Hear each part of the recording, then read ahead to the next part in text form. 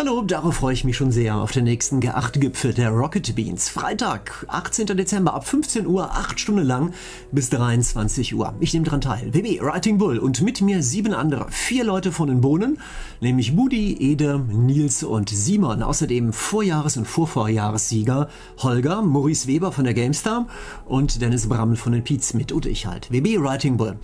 Das dritte Mal in Reihe, dass ich jetzt daran teilnehmen kann, freue mich sehr drauf. Ich bin ja als Twitch-Streamer und YouTube-Videomacher spezialisiert auf aktuelle Strategiespiele, besonderes, besonderer Fokus bei mir auf 4X-Spiele, also auf solche, wo man eine große Welt in der Regel im Rundentakt entdeckt und besiedelt und Forschung betreibt, Diplomatie und so weiter, wo man sich so richtig strategisch austoben kann. Civilization, mein ultimatives Lieblingsspiel, Civ 6, streame ich und Let's Play ich auf YouTube rauf und runter. In der Regel immer zwei Let's Plays parallel, immer auf Gottheit, höchster Schwierigkeitsgrad. Selten, dass ich mich mit richtigen Menschen und nicht nur mit der Maschine, mit der KI messe. Diesmal mache ich das aber sehr gern und freue mich auch sehr drauf. Was ich euch in diesem Video jetzt vorstelle, ich werde euch die Karte zeigen, nicht in-game, wie sie aussieht. Die habe ich zwar bei mir schon auf dem Rechner, aber ich zeige euch das Vorschaubild, das die Rocket Beans bereits veröffentlicht haben. Ich gehe mit euch die acht Zivilisationen durch, die im Spiel vertreten sind, erzähle euch, wer wen spielt und gebe euch, äh, erzähle euch auch, was die besonderen Stärken und Schwächen sind ob die nach meiner Einschätzung gut geeignet sind für die besondere Herausforderung dieses Spieles, wie man das eventuell taktisch angehen müsste, damit die sich hier entfalten oder was die anderen machen müssten, um die ein bisschen einzuhegen. Bin mal gespannt, wie das dann in der Praxis läuft. Ich selber streame übrigens auch. Also das Ganze läuft auf bei den Rocket Beans natürlich, bei denen auf deren Web-TV-Sender und außerdem bei mir auch noch bei mir auf Twitch und da meine eigene Perspektive. Das heißt üblicherweise der gesamte Rocket Beans Stream läuft halt so ab, dass mit der sogenannten Spectator-Mod gespielt wird. Das ist eine Modifikation aus dem Steam Workshop, die es einem erlaubt, als neutrale Fraktion auf der Karte zu entstehen, zu spawnen, selber nicht mitzuspielen und zu kämpfen, aber alles sehen zu können und alles auch zeigen zu können, bei einem Stream zum Beispiel. Das heißt, äh, die Leute aus der Regie bei den Rocket Beans gleiten über die Karte hinweg. Als sogenannter Spectator, als Beobachter, können mal da, mal dort uns über die Schulter gucken, zeigen das aus dieser Perspektive beim Stream. Und äh, ziehen wahrscheinlich zwischendurch über uns her, über unsere Kriege, über unsere Fäden oder vielleicht auch über unsere diplomatische Liebeleien, wer weiß. Ich selber zeige meine eigene Perspektive, das heißt, der Rest ist im Fork of War, in Kriegsnebel, als Ergänzung zeige ich das bei mir auf Twitch und äh, zeige, wie ich mich so allmählich auf der Karte vorkämpfe, auf wen ich wann treffe und habe den Ton allerdings von, von allen drauf. Also nicht nur, wie, wie ich da in der... Ich, es ist nicht nur so, dass ich da zu sehen und zu hören bin, sondern ich habe den Gesamtton von allen drauf, dass man auch mitbekommt, wem ich gerade ein Schwätzchen halte oder was die anderen zueinander sagen. Könnt ihr euch wahlweise anschauen, bei dem einen, bei dem anderen Stream oder mal hin und her switchen oder wo auch immer wie ihr möchtet. Link auf meinen Twitch-Kanal gibt es direkt hier drunter in der Textbeschreibung auf YouTube. Und ich habe auch klingeln gehört, der ein oder andere Mitspieler wird das in ähnlicher Weise machen, aber das müsst ihr selber rauskriegen. Das weiß ich gar nicht so hundertprozentig und genau, wer das von denen alles macht. So, jetzt stelle ich euch aber alles vor. Zuerst mal ein Blick auf die Karte. Schaut mal. Die Karte Wisst ihr, wer die Karte gebaut hat? Liebe Grüße an unseren Eisdrachen, Mitglied aus meinem Community-Forum, community.writingbull.de. Ich habe parallel zu YouTube und Twitch noch ein Community-Forum, das ich betreibe mit etwa dreieinhalbtausend Mitgliedern. Viele begeisterte Civilization-Fans, die dort auch regelmäßig sich, sich treffen zu Multiplayer-Matches und sich richtig gut auskennen. Und unser Eisdrache hat übrigens auch schon beim letzten G8-Gipfel und jetzt auch auf meine Vermittlung hin den Rocket Beans die Karte gemacht. Das ist die Karte, die ihr als Vorschaubild im Hintergrund seht. Viele von euch, die nicht so totale Civ-Fans sind, wird das alles gar nicht so sagen. Die sehen da ein paar Punkte, ein paar Farbklecks und fragen sich, worum es geht. Das kann ich euch aber gleich mal ausschlüsseln, aufschlüsseln, weil als halbwegs erfahrener Civilization-Spieler weiß man, was das darstellt. Das mache ich gleich und außerdem stelle ich euch die einzelnen Zivilisationen vor und wir gucken mal, wer wo da spawnt und was es dann taktisch bedeutet. Erstmal ganz grob, was die Karte bedeutet, ja. Ähm, ihr seht, die besondere Herausforderung ist diesmal, ein, dass die Siegvariante eine andere ist als vorher. Vorher wurden Punkte gezählt. Das heißt, wer am erfolgreichsten auf eine vage und allgemeine Art und Weise bei den vorigen Gipfeln gespielt hat, das heißt, wer besonders viele Städte gegründet, Zivilisationen ähm, niedergemacht, Städte geplündert, Einheiten gebaut, Forschung erreicht hat, Weltwunder gebaut, Religionen gegründet, pipapo, alles auf die... Äh, das alles hinbekommen hat, der generiert immer Punkte im Laufe der Partie. Die werden in-game eingezeigt, die haben die Rocket Beans ausgelesen und dann immer eine aktuelle Rangliste gemacht, wer gerade vorne liegt. Das ist mäßig spannend. Weil das belohnt eigentlich eher eine Spielweise, wo man nicht unbedingt so aggressiv spielt und Leute aufmischt und da gibt es nicht unbedingt schnell Action. Also da kann man auch gewinnen, wenn man sich einfach so sein eigenes Ding macht, im Spiel versackt und in aller Ruhe alles aufbaut und nicht so viel Wert legt auf Spektakel und Unterhaltung. Das läuft hier anders. Eisdrache hat den Rocket Beans was vorgeschlagen. Die fanden das sehr cool. Danke, dass Dennis das aufgegriffen hat. Und das ist diese spezielle Karte mit diesem speziellen Modus. Diese donutförmige Karte hat in der Mitte eine Wüsteninsel.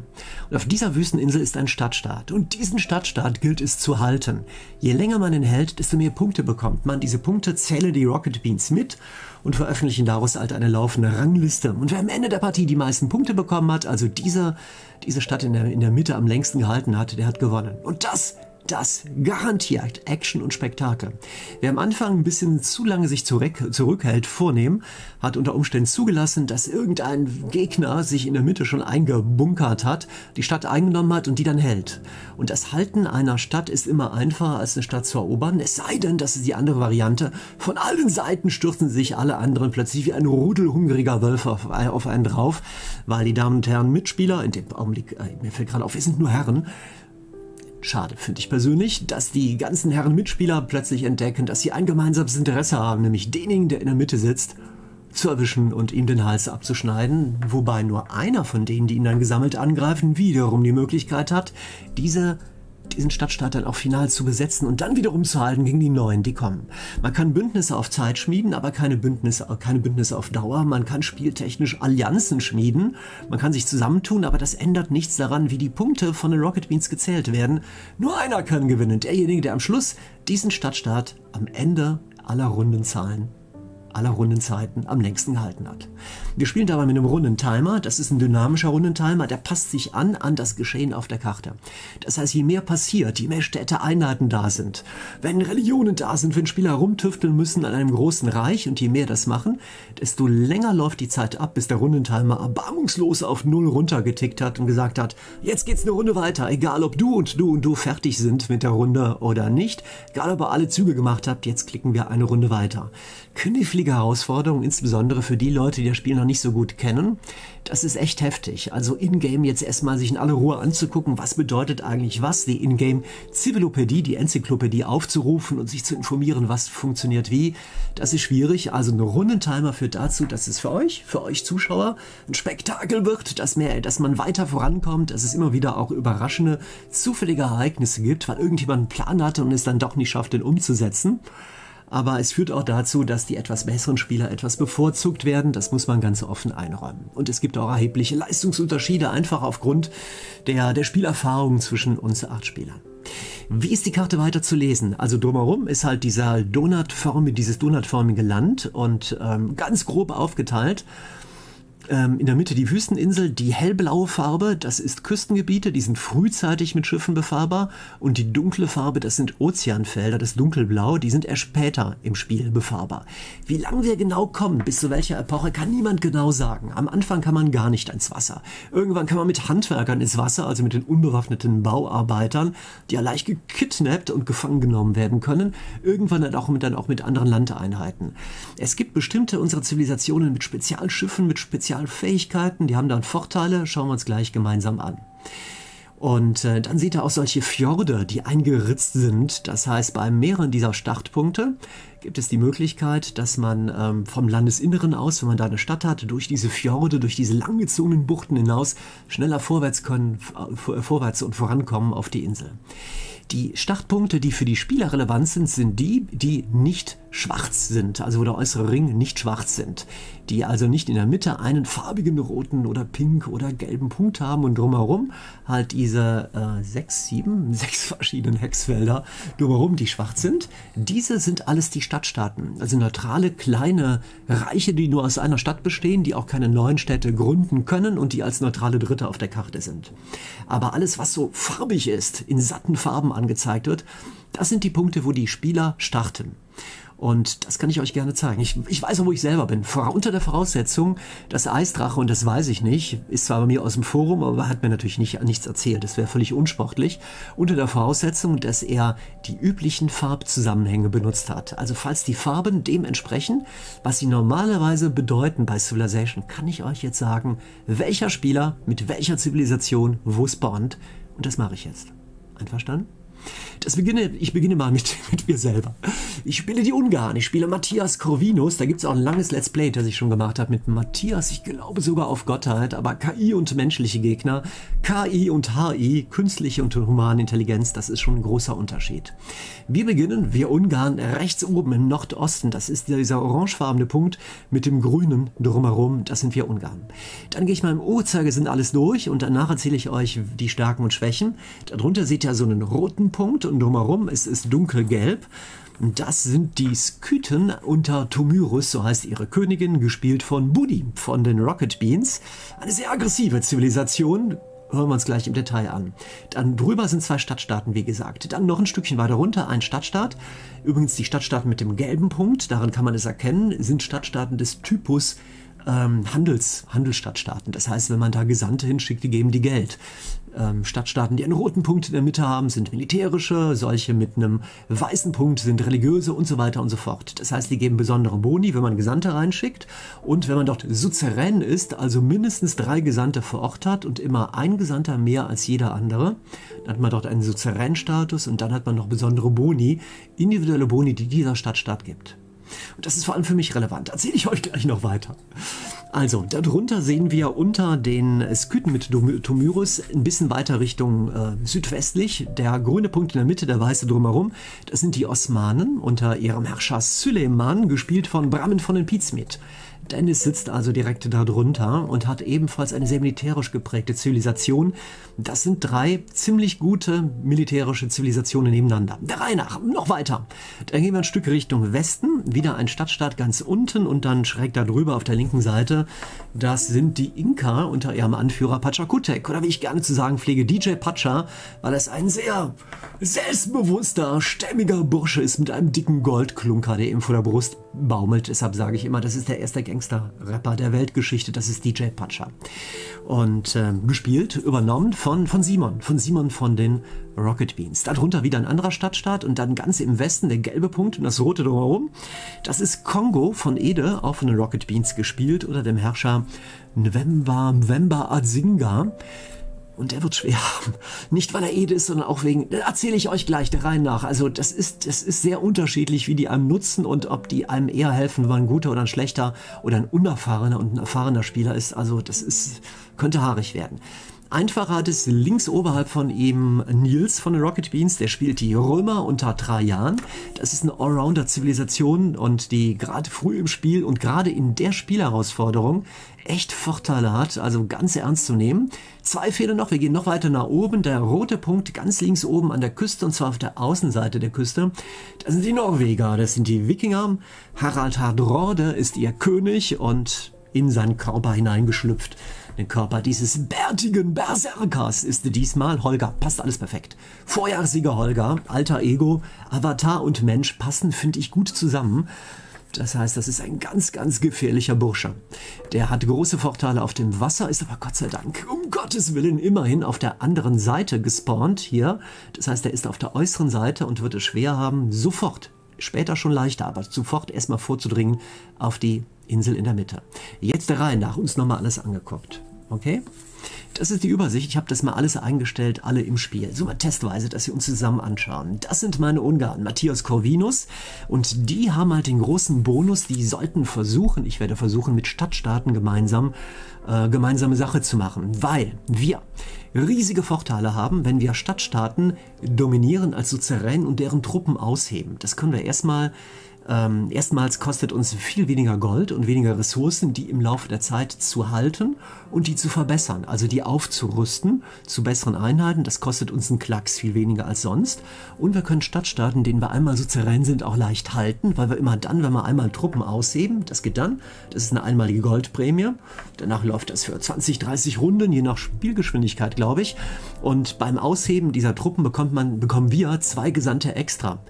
Wir würden die Truppen, die wir ausgehoben haben, verlieren in dem Augenblick, wo irgendeine andere, ein anderes großes Reich einen Gesandten äh, mit uns auf einem Level ist mit den Gesandten, also selber Gesandte reinschickt und unseren Suzeränstatus überschreibt.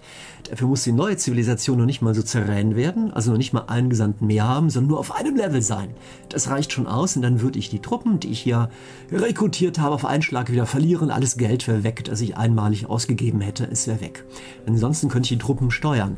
Dieser Mechanismus ist, man zwar gratis Gesandte bekommt, wenn man äh, Truppen aushebt, die steckt man natürlich dann sofort in diesen Stadtstaat sind die wieder drin und die helfen einem verlässlich zu planen und diesen Stadtstaat länger zu halten.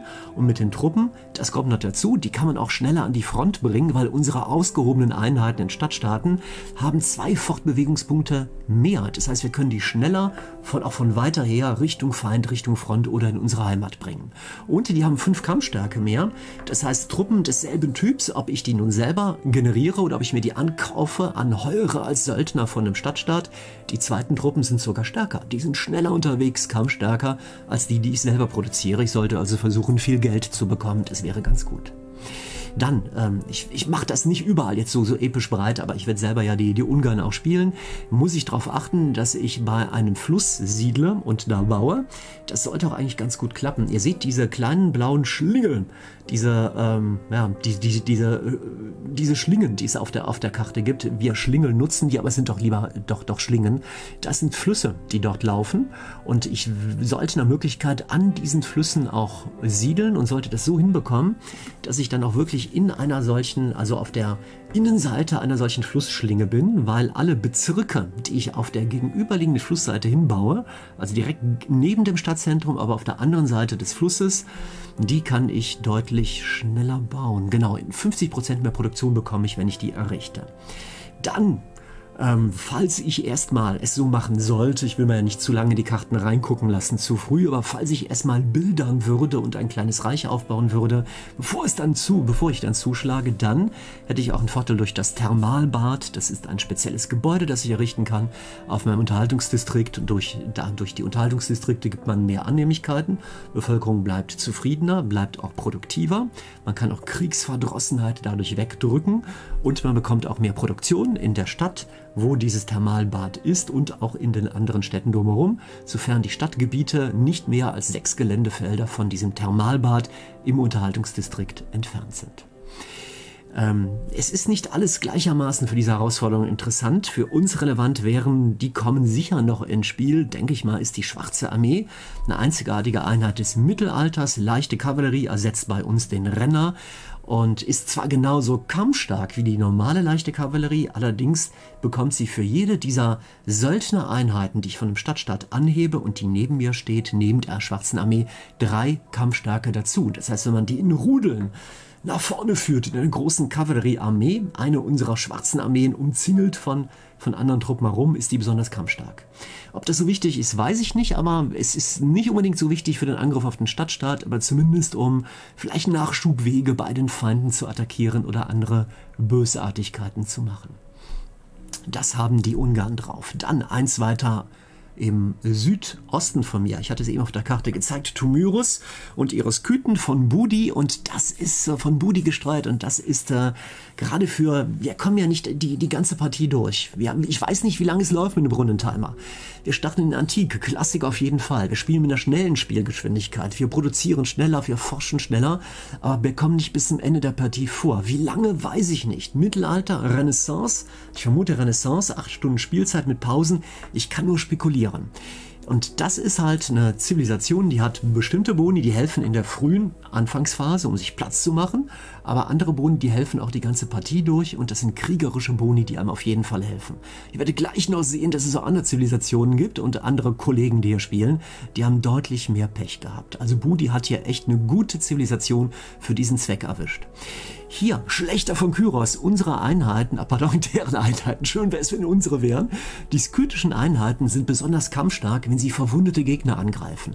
Das heißt, wenn sie einen meiner ungarischen Truppen, die ja direkt neben ihnen spawnen, angreifen und die haben nur einen Trefferpunkt verloren, die haben statt 100 Lebenspunkte nur 99, dann kann eine Einheit von Tomyris mit fünf Kampfstärke extra angreifen und das tut richtig, richtig weh. Und wenn eine solche Einheit einen von meinen Leuten ausschaltet, ähm, das heißt, also tötet, umbringt, oh Gott, was für ein Euphemismus hier, dann wird die Einheit, die angegriffen hat, um 30 Trefferpunkte geheilt.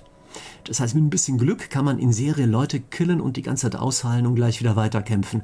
Das ist keine, kein sympathischer Anblick für mich, wenn ich da auf Budi blicke und auf seine Sküten. Dann noch ein paar andere Sachen.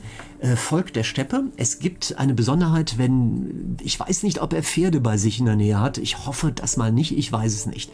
Wenn er Pferdchen hat, kann er leichte Kavallerieeinheiten und berittene Sakenbogenschützen aufstellen, die ähm, immer dann, wenn eine dieser Einheiten entsteht, äh, wird ihm eine zweite geschenkt. Das heißt, wenn er mit einer die erste leichte Kavallerieeinheit hat, einen ein Reiter und die gebaut hat, zack, ist die zweite Einheit ebenfalls da die, die bekommt er gratis geschenkt. Und es betrifft auch seine Spezialeinheit, den berittenen Sarkenbogenschützen, eine Fernkampfeinheit, die schnell unterwegs ist, die in der Klassik kommt, in der zweiten Epoche, die allerdings nur eine kleine Reichweite hat, Gott sei Dank nur ein Geländefeld, aber das kann trotzdem fies sein. Wenn die riesigen Meuten auf einen angeritten kommen, das könnte richtig fies sein. Also, das ist äh, nicht so schön für alle, die gegen Budi spielen. Rest lassen wir jetzt mal weg. Nächste Zivilisation, das sind die Osmanen. Süleyman, das ist, ähm, das ist Brahman von Pizmeet, der spielt die Osmanen. Hier nochmal ganz kurz einen Blick in die Karte. Oben rechts, ne? Die Grünen oben, die Ungarn, da drunter, das sind die Skythen und dann ein Stückchen weiter Richtung äh, Südwesten, grüner Punkt in Weiß, das sind die Osmanen, das ist Brahman. Und das ist ein, hier ein bisschen ein, ein gemischteres Bild. Also die Osmanen spielt man normalerweise offensiv. Das heißt, man versucht so viel wie möglich zu erobern. Das ist eine Zivilisation, die dafür prädestiniert ist, voller militärischer Gewalt auf die Gegner loszugehen und sich systematisch ein großes Reich zu erobern und das auch zu halten. Keine schlechten Voraussetzungen hier für diese Partie. Die haben einen extra Gouverneur, den Großvisier, sie haben eine Spezialeinheit, den Janitscharen und ihre, ihr besonderer Fokus liegt auf Belagerungswaffen, also auf Katapulte, Bombarden und was später ins Spiel kommt. Das sind solche Einheiten, mit denen man feindliche Stadtmauern runterbomben kann oder auch dann, wenn dieser blaue Balken, dieser Stadtmauerbalken entfernt ist, dann nach den grünen Balken, den Lebensbalken der Stadt auch schnell, besonders schnell runterfeuern kann. Und solche Belagerungseinheiten können die besonders schnell produzieren, die Osmanen. Bram hat es dann drauf, bekommt er Produktionsbonus und die sind noch besonders stark beim Angriff gegen Bezirkverteidigung. Das heißt, wenn er damit ein, mit einer dieser schnell gebauten Belagerungswaffen eine Stadtmauer angreift, dann gibt's da, hat er noch extra Kampfstärke dabei. Und wenn er eine Stadt erobert, normalerweise ist es ja so, wenn man Städte erobert, es ist schwer, die erstmal zu halten. Die Leute murren, die sagen, oh Gott, wir wurden überfallen, ich misstraue meinen Eroberern. Den Osmanen tritt jeder voller Vertrauen entgegen oder zumindest voller Angst. Und man bekommt extra Loyalität und extra Annehmlichkeiten in den Städten, die nicht von den Osmanen gegründet worden sind. Sprich solchen, die man den Gegnern abgenommen hat oder die man von denen geschenkt bekommen hat oder wie auch immer. Auch hier nicht alles bis, bis, bis ganz runter. Im Mittelalter, die erste Spezialeinheit, die bei ihm relevant ist, ist der Korsar. Damit kann er gut über dieses Binnenmeer rüberziehen zu der Wüstenstadt. Die Einheit ist weitestgehend unsichtbar. Das ist ein sogenannter Marineräuber. Das heißt, solche Schiffe sieht man nur dann, wenn man selber mit dem Schiff direkt daneben steht. Das ist sehr hilfreich, um zu plündern, um ähm, Handelseinheiten zu finden, zu massakrieren, um gewasserte Einheiten, die rüberziehen und die schlecht bewacht sind, zu erwischen und so weiter und so fort. Dann kann man ein bisschen Angst und Schrecken und Terror verbreiten auf den sieben Weltmeeren. Das ist äh, bedenklich. Darunter der Janitschar, der wird erst spät ins Spiel kommen. Wie gesagt, ich weiß nicht, wie lange das läuft. Ähm, das ist der Designersatz für den Musketier, stärker, schneller zu bauen, aber man muss erstmal abwarten, also beide Einheiten kommen eher etwas später ins Spiel, Mittelalter und Renaissance. Mal gucken, wie er sich zu Beginn schlägt. Auch die Belagerungswaffen sind nicht von Beginn an ins Spiel. Also er hat keine Zivilisation, mit der er einen Rush erfolgreich durchführen könnte. Zumindest ist er dafür nicht prädestiniert. Dann die nächsten, das sind die Inka unter DJ Pacha. Das ist ein Stückchen weiter Richtung ähm, Westen dann. Das ist der gelbe Fleck mit dem braunen drumherum. Das sind die Inka. Und ähm, habe ich auch schon mal Let's Played. Gibt es auch eine lange Let's Play-Reihe von, von mir zu, auch mit Tomyrus übrigens, auch mit den Sküten. Und deren Spezialität ist ja, ich, das ist jetzt für dieses angriffslustige lustige Szenario nicht so wirklich und gut geeignet, finde ich. Ähm, mit den Inka kann man isolationistisch spielen. Man kann sich total ver verbarrikadieren. Man guckt nicht nach links, man guckt nicht nach rechts, man macht seinen eigenen Scheiß. Man hat die Handelsrouten, die inländischen Handelsrouten, die also verkehren zwischen den eigenen Städten, nicht mit dem Ausland. Für diese Handelsrouten hat man extra Vorteile. Wenn man viele Berge hat auf der Karte, hat man dadurch auch Vorteile. Ob hier viele Berge sind auf der Karte, schauen wir uns mal schauen wir uns dann an morgen beim Stream.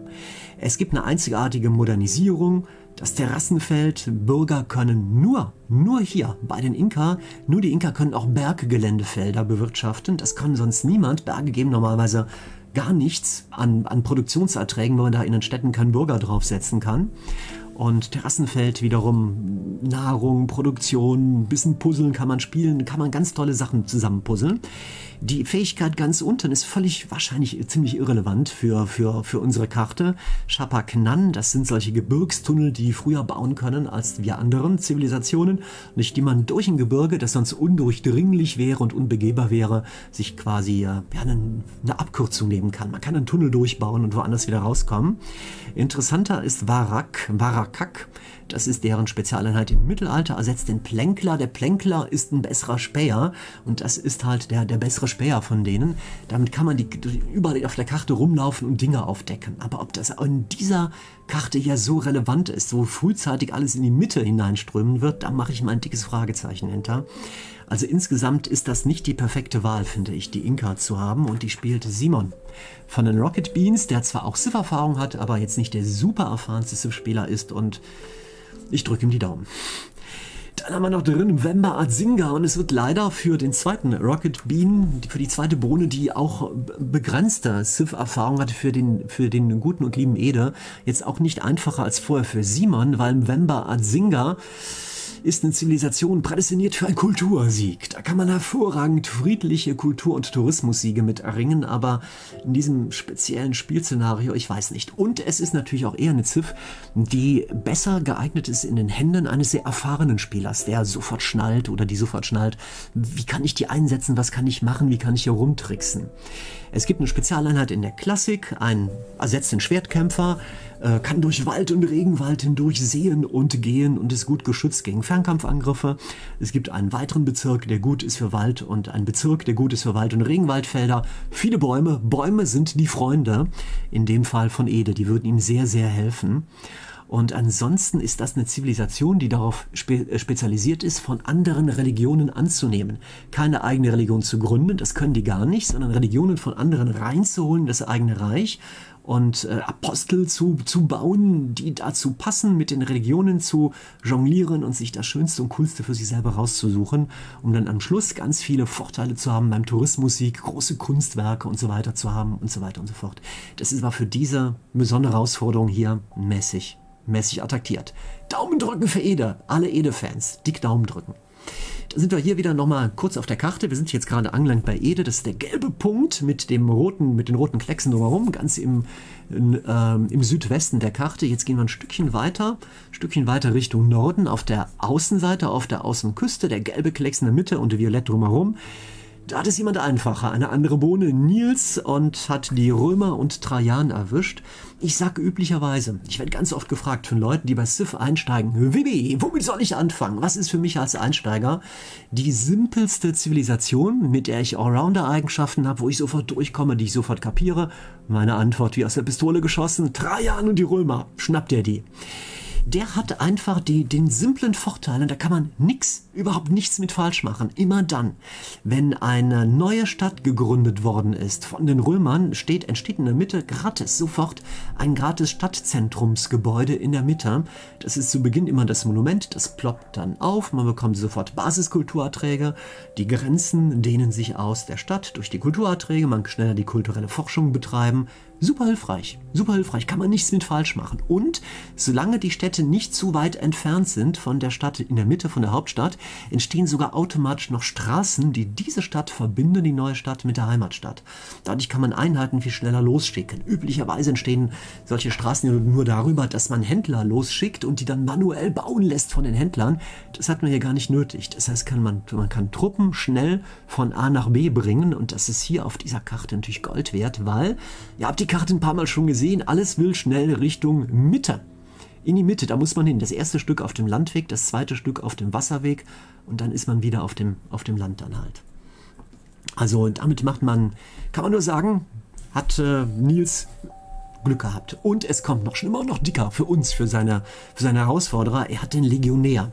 Der Legionär ersetzt den Schwertkämpfer und hat eine Spezialfähigkeit, die, äh, ja, die total hilfreich ist für diese Art von Karte. Er sieht ja in der Mitte ist diese, äh, dieser isolierte, diese isolierte, dieser isolierte Stadtstaat auf der Wüsteninsel und die Truppen, die man da hinschickt und die dann vor Ort sind, die müssen sich hier irgendwie verteidigen. Vor dem Beschuss aus der Stadt oder wovor auch immer.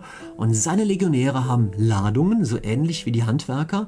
Das heißt, eine limitierte Anzahl von Befehlen, die sie durchführen können, um ein römisches Militärlager zu bauen. Das ist eine kleine Festung. Nicht die stärkste, aber eine durchaus wirkungsvolle. Da können sich die Einheiten drin verschanzen, sind zum Beispiel gegen den Nahkampf Nahkampfangriff oder auch gegen den Fernkampfangriff sofort ganz gut geschützt. Das ist das, was der Legionär drauf hat. Das ist so das Wichtigste hier. Zwei Fehler noch. Dann Vorjahres- und Vorvorjahressieger Respekt. Holger spielt die Norweger unter Harald Hardrode, einer auf den auf den Küstenkampf, auf den Schiffskampf und auch auf das Räubern von Küstengebieten spezialisierte Zivilisationen. Das heißt, die haben die, erstmal haben die die Fähigkeit, dass sie halt äh, mit ihren Schiffen ranfahren können an die Küstengebiete, wo andere sind, wo die vielleicht unschuldige, unbewaffnete Handwerker rumziehen haben oder wo die Modernisierung gebaut haben. Die können vom Wasser aus dann mit der Küstenräuberfähigkeit sich diese Einheiten schnappen und diese Gebiete da sich, sich schnappen und die zerstören und die plündern und die und dadurch Glaubens- oder Wissenschafts- oder auch Nahrungserträge, Lebenspunkte sich zu holen oder was auch immer. Das ist richtig fies. Und wenn ihr euch mal anschaut, wo der sitzt, guckt mal, wo der sitzt. Der ist im Nordwesten, roter Punkt, blau drumherum und die letzte Zivilisation, die uns noch fehlt, Maurice, Maurice Heber von der GameStar, der ist ein Stück Richtung Osten. Der ähm, Harald Hadrode, der Holger sitzt auf der Außenseite und auf der Innenseite wiederum sitzt Maurice, sitzt auf der Binnenseite. Das heißt, Maurice obliegt die Aufgabe, entweder, entweder Holger zu stoppen oder sein erstes Opfer zu sein.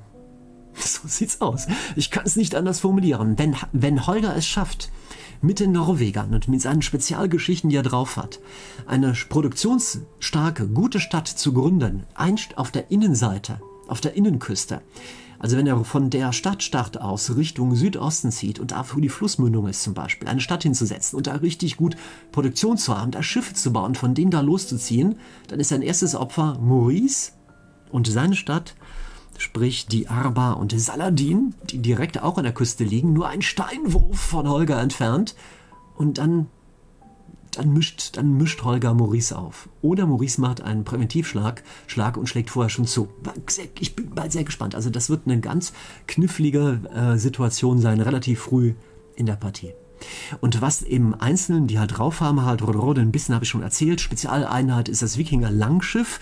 Setzt die Galeere, kann feindliche Küstengebiete plündern, habe ich gerade erklärt, Zivilisten gefangen nehmen, nicht nur Handwerker, auch Siedler beispielsweise und ist in Küstengewässern, also nicht auf den Ozean, auf dem dunkelblauen, sondern auf dem hellblauen, besonders fix und schnell unterwegs. Und er kann früher als wir anderen, dank der Eigenschaft Knarre Ozeangeländefelder auch befahren. Das heißt, während bei uns allen anderen diese blauen Gebiete in der Mitte quasi Sperrzonen sind, wo wir erstmal gar nicht reinkommen, wir haben im Prinzip überall so kleine Türen, alles diese, diese hellblauen Korridore, die von der Außenseite hin in die Mitte zur Wüsteninsel führen. Das sind kleine Zugänge, kleine Pässe. Ozean- oder, oder Küstengewässer, Pässe, wo wir uns drängeln werden. Da wollen wir alle durch. Wir wollen alle da durch, durch diesen schmalen Korridor, um auf die Wüsteninsel zu kommen. Nur einer nicht, hat es nicht nötig. Das ist Holger, der sagt, ach komm, drängelt euch, da macht euch fertig, trickst euch aus. Ich fahre einfach frühzeitig, viel früher als ihr, quer über den Ozean und bin dann schon mal am Ziel und hole mir vielleicht sogar vor euch schon mal diese Stadt in der Mitte, sammle die ersten Punkte ein und ihr werdet dann Schwierigkeiten haben, wenn ich mich mal einmal da verbarrikadiert habt, mich von der Insel wieder zu betreiben, weil ich bin der Herrscher des Ozeans und der Küste und meine Schiffe machen euch fertig, wenn ihr versucht, wieder auf die Küste loszuziehen. Und da müssen wir alle ein bisschen gemeinschaftlich denken und nicht nur auf uns selber, ansonsten wird das ganz, ganz übel enden und ich bin mal vor allem gespannt, wie Maurice sich da verhält. Das sind die Norweger und das ist Saladin, das ist Maurice, das sind seine Araber. Ähm, üblicherweise kann man sehr gut als Araber eine Religionssiege einfahren. Religionen werden gegründet mit großen Propheten. Es gibt immer weniger große Propheten im Spiel, als äh, die Anzahl der, der, Spieler da ist. Aber als Araber weiß man, der, der letzte große Prophet, wenn man sich vorher nicht so schon eingeholt hat, der landet immer bei einem selber. Das heißt, die Wahrscheinlichkeit, dass Maurice eine Religion gründet, liegt bei, lass mich mal grob schätzen, 100 Prozent. Das wird er auf jeden Fall machen. Und dann kommt es darauf an, früher oder später, wie groß die Auswahl ist noch an Glaubenssätzen und welche er sich dann da holt. Je später er das macht, desto geringer ist die Auswahl und so weiter. Er hat eine spezielle Einheit noch im Mittelalter, den Mameluken, der ersetzt den Ritter. Und das ist auch eine sehr coole Einheit, vor allem in der Offensive, wenn er vor Ort steht, auf dieser Wüsteninsel. Der heilt nämlich immer und der Halt unabhängig davon, ob er sich bewegt hat oder also ob, ob, ob, er irgendwas gemacht hat, er steht da und heilt. Üblicherweise heilt man nicht so schnell. Man muss passiv in der Gegend stehen, muss sagen, ich tue jetzt mal gar nichts und dann heilt man beim Rundenwechsel aus. Maurice hat das nicht nötig. Maurice hat Heilfleisch und über ein Getränk, das an seine Mamelucken, sie heilen immer. Das ist so ganz grob der Überblick über das, was uns hier erwartet. Wann? Freitag. Freitag, der 18. Dezember. Live auf Twitch bei den Bohnen. Live auch bei mir auf Twitch. Ich habe eben erzählt, meine Perspektive von mir gestreamt. Und ich mache auch VODs davon, also Videoaufzeichnungen, wo ich meine Perspektive im Nachhinein bringe. Die wird es dann danach auf meinem YouTube-Kanal geben. Start ist dann, Videostart am 20. Am 20.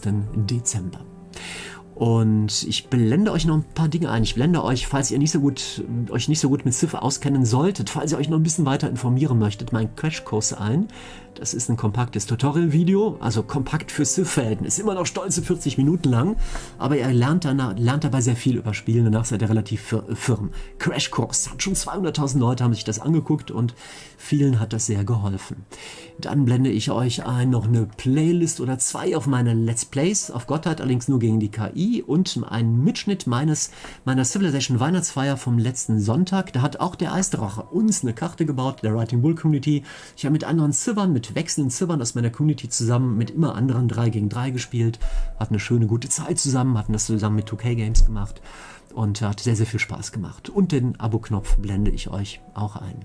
Wenn ihr mal selber mitmachen wollt und selber mal eine Karte spielen wollt, die der Eisdrache macht, Möchtet ihr?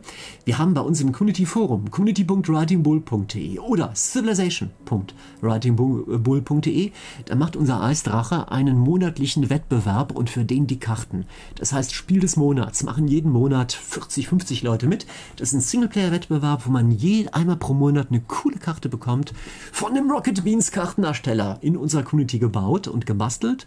Und das sind nie so 0815 Karten, immer handgemacht mit ganz besonderen ähm, Aufgaben und Challenges, die man absolvieren muss. Und da kann man sich im Singleplayer-Modus halt messen mit anderen und versuchen, mehr Punkte zu bekommen als die anderen bei diesen ganz speziellen Aufgaben.